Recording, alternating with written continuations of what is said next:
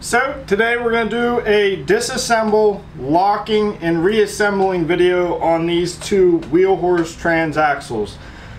This one came out of a Wheelhorse Raider. It's a Unidrive part number 2988185. And this one I'm not entirely too sure what it came out of. There's some differences between the two, but both are three speeds with a high and low and they are both out of wheel horses. So the only real difference would be these brake shafts. This one is a lot larger that is keyed and then this one on the Unidrive is a double D shaft that is smaller. And then up here is a uh, dipstick with a fill for the oil and this one does not have it. Other than that, I'm pretty sure they're the same exact axles. Um, I just previously locked another one that was, I think it's considered a 10 pinion. It has a limited slip differential in it. It's pretty neat. I'll uh, post some pictures in the video so you see what that looks like. But I'm not entirely sure what these look like on the inside, so let's set up the GoPro and start tearing them apart and once I get them split open I'll show you the differences.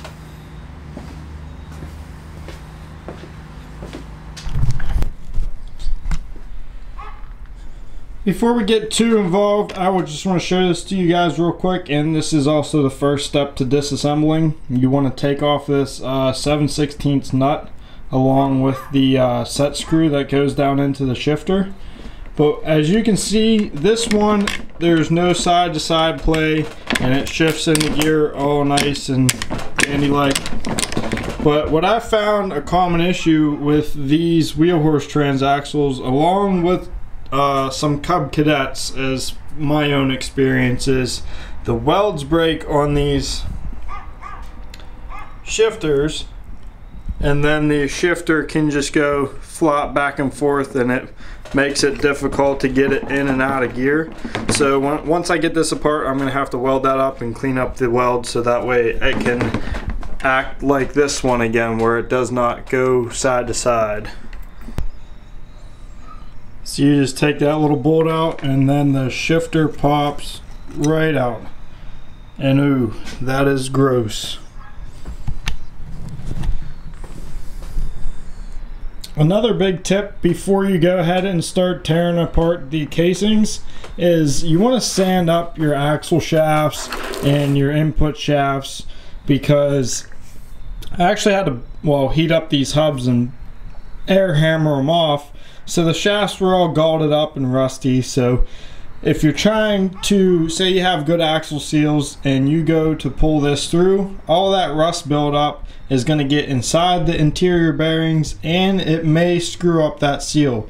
So if you got some uh, scotch pad some 80 sandpaper or steel wool or something make sure you clean up your shafts before you go ahead and actually tear them apart so got all the bolts out uh, the last one that I did, I had it flipped the other way, and I had some troubles with the high and low range. I'm not sure if this is the correct way to disassemble it. Uh, we'll find out, and if it's the incorrect way, I'll make sure to let you know, and we'll do it the correct way on the next one.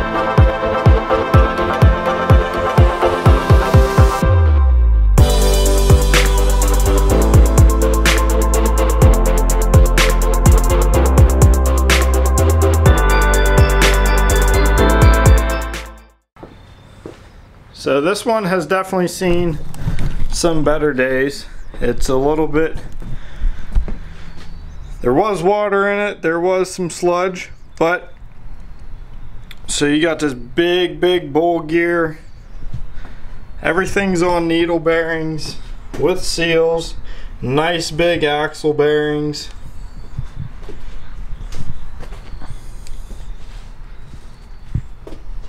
So these things are definitely beefy.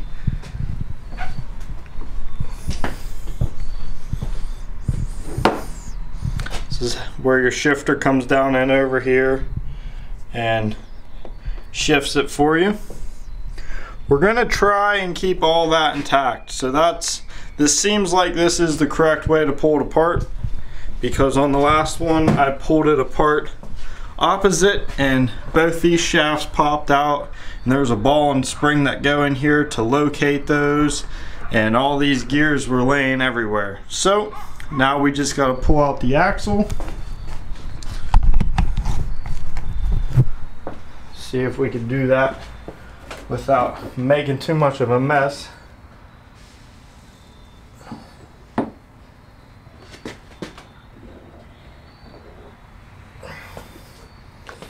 And there you go. That is the rear axle to a wheel horse garden tractor.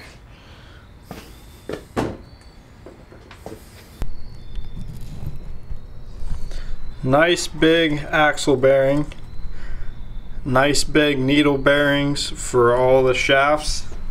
Now I got this one set up right there and I'm going to leave that one there until I go to reassemble. So I'll pull this one off the bench and we'll pull that one up and see if there's any differences other than the brake shaft and the fill on the top of the case. Back to this, this is the second transaxle I pulled apart and this one was a lot worse. It was had a lot more oil on the outside, a lot dirtier, and it was full of water whenever I drained it out at the junkyard. This is a whole lot of buildup of rust. The bearing seems to be good still, and so do these needle bearings. So what I'll do is I'll clean out the case, and this is significantly worse than the last, and it looks like the diff is different. The axle on the left is out of the Unidrive with the brake shaft that has the double D on it. This is inch and an eighth axles with a cast iron carrier here. This is out of the other axle. This These are also eighth and an inch axles, but it has an aluminum uh, carrier. This one had five 3 8 bolts with uh, nylon lock nuts holding it together and this had four 3 8 bolts with just regular old school lock nuts on it. So I'll pull them apart. Let's move the camera back. See if we can see the difference. So we'll do the cast iron one first. And there it is just looks like a typical like a 633A transaxle. So if you wanted to you could do the gear flip situation but I'm gonna be welding it up. So this is the cast iron one. I believe that's the most common diff for one of these wheel horse axles. And then we'll go ahead and pull the aluminum one apart. And this is a 10 pinion. And it is a limited slip. The last one I did had a cast iron uh, housing. This one has aluminum. So this 10 pinion is pretty pretty nifty. Oh, it's even coming out of the bull gear there so that ring inside there is the limited slip. It pushes pressure out on the pinions, but there's five gears on this side and then there's five on the opposite side. So we will go ahead and lock both of these. What I'm going to be doing is I'm going to be welding these together. So if you don't have a welder, I do not have a answer for you to how to lock these. These ones you can flip a couple of the gears and make it work, but it's really not strong. So I will take these to work and weld them up. Uh, welders at work are a lot better than my uh, Hobart 140. So I'm not going to have any video of me welding them up, but I will show you whenever I get them done. I will show you exactly where I welded them and how I had them set up to weld. So these are the lockers that I have come up with. So on these normal wheel horse or like a 633A, you're going to have these opposing gears that you can actually just take two of these and flip them and put the gears on both sides but it's really not that strong because you only have two points of contact on each shaft as opposed to all of these. So this bull gear if I can get this without getting all gross this bull gear goes in between these two halves and is what drives this with the uh, four bolts going through it. So all you gotta do is take four 3 8 bolts, cinch this down tight, and then that way this is all lined up whenever you go ahead and put that bull gear on. So you just clean these up real nice and put a nice heavy weld on each one of these gears. And then you have a locker. Now, for the 10 pinion, once again, the last 10 pinion I did, I did not clean out enough grease and this one I didn't either. So these welds are pretty darn boogery and gross. But what you want to do is you want to, you're going to have to get 10 bolts. And what you want to do is you want to put the bolts through all the gears so it's like it's together.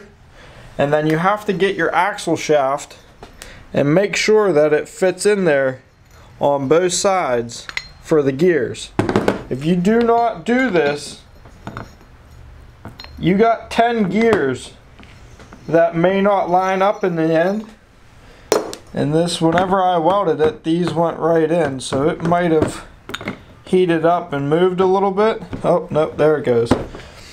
So you got to make sure that gear fits down in those 10 pinions on both sides because if not, you're going to weld this up and you're going to hate yourself because you're not going to be able to get your diff back together.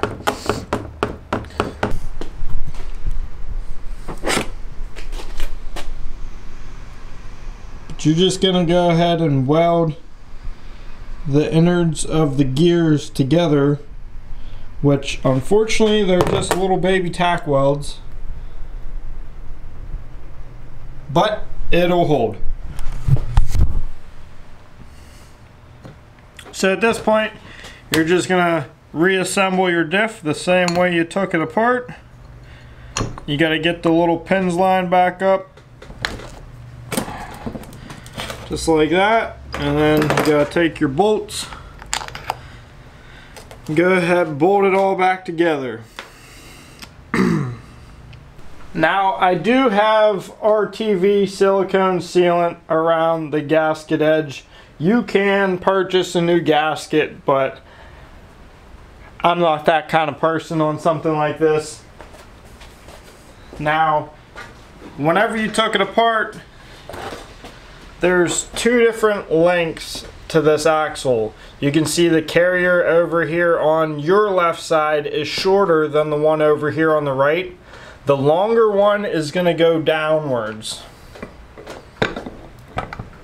You just slide it down in, make sure it seats properly, and then what you're going to want to do is you're want to get your other case half, and then you're going to want to put that on. Now, I did go ahead and clean up the mating surface as much as I could. I razor bladed it, wire wheeled it, and then cleaned it off with degreaser. And all my needle bearings that are in there, I put a little bit of uh, grease in there. Some may say you should do that. Some may say you shouldn't because it's uh, bathed in gear oil in there. But that's just what I like doing myself. And now with a little bit of force from the rubber mallet, we got it seated down there good. I'm spinning the input shaft and it looks like it's not having any issues spinning. So what I'm going to do is I'm going to loosely tighten down all the case bolts and then I'm going to wait about a half an hour and then fully tighten them down and then I'll reinstall the shifter and then it'll be pretty much ready to go back into the tractor. And the last portion to this reassembly is the shifter. All you gotta do is put her down in there, make sure she's just gotta wiggle it right down in. Oh, I went a little bit too far. You want to just leave it uh, pretty much even with the top. Now, I'll come back over here real quick and show you. There's a little divot or a little set screw hole for the pin to go into.